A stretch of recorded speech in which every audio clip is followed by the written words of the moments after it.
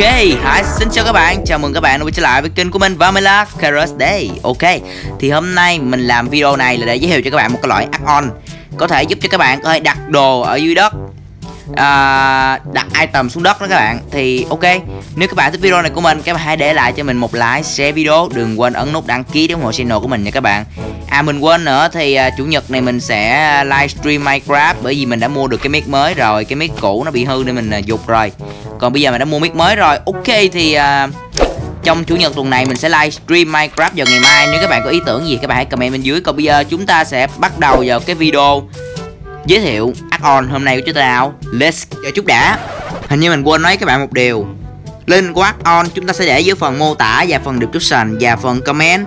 Thì các bạn hãy ấn vô những cái phần à, à phần mô tả và phần comment. Thì các bạn có thể à, kiếm được cái link đó liền thì ok chúng ta sẽ bắt đầu video ngày hôm nay nào let's go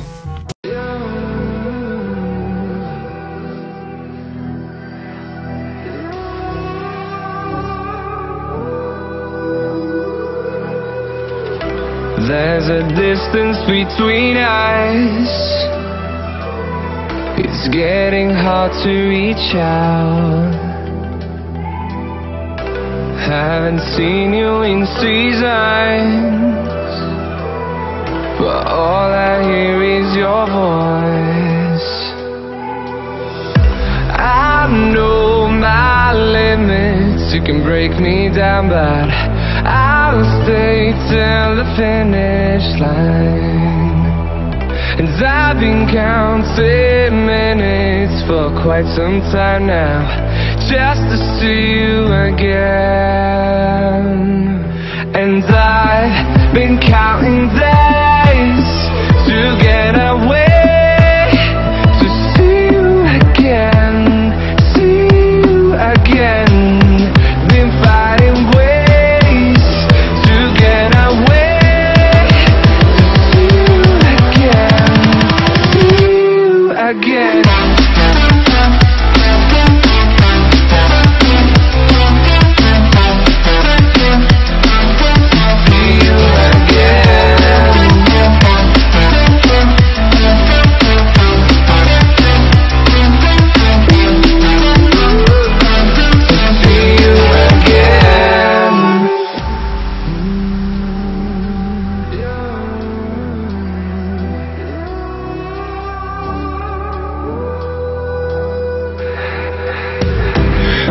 got millions of reasons